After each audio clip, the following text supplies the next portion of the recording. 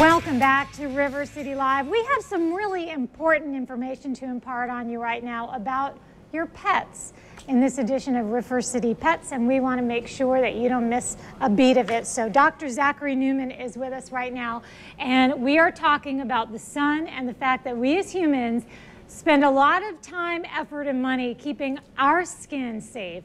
We use sunblock, maybe get in the shade, we do everything we can think of to avoid skin cancer, but we're not thinking in terms of how the sun can affect our pets. So, doctor, is this a problem? Is this an issue? Yeah, it's a big problem, and there's a lot of uh, key points to touch base or talk about with pets. So we think about ourselves and protect ourselves from the sun, like you mentioned, but you have to think about your pets as well.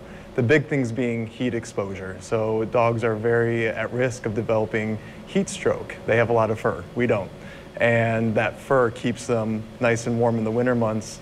But in the summer months, it does keep them cool, mm. but it mm-hmm. also keeps them quite warm if, if you overexert them.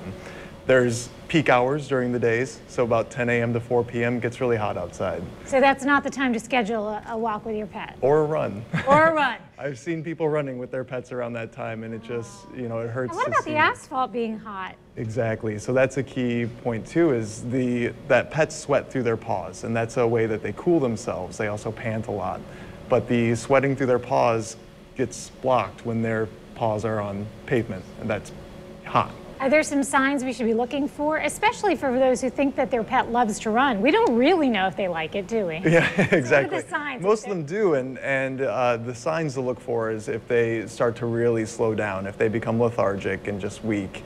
Um, if they vomit, that's a very big sign that you need to stop what you're doing and get them to a cool shaded place and get them some water. Mm -hmm. uh, always bring fresh water with you wherever you go because they need to mm -hmm. have lots of water to cool themselves down. Um, and then the other key thing is protecting them from sun exposure, just like we do with sunscreen.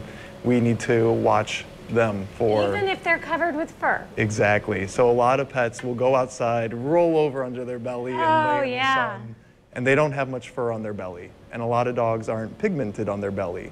So those lighter skinned dogs, like the white dogs, will lay out there in the sun.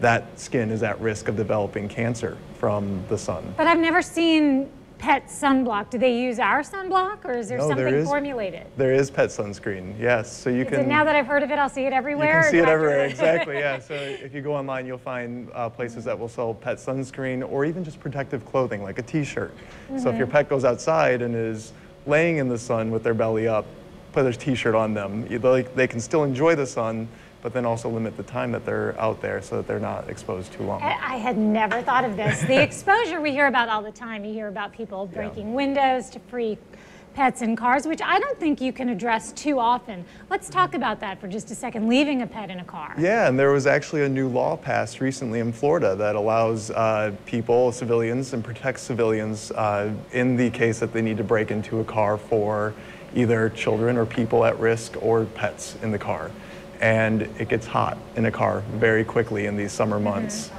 uh, can get up to about 160 degrees on the inside of a car within minutes if it's about 90 degrees outside. So that is something that you, you know, if you need to, and I would always grab a witness to, to mm -hmm. help or try and call the authorities first, but if you absolutely need to, you can break in.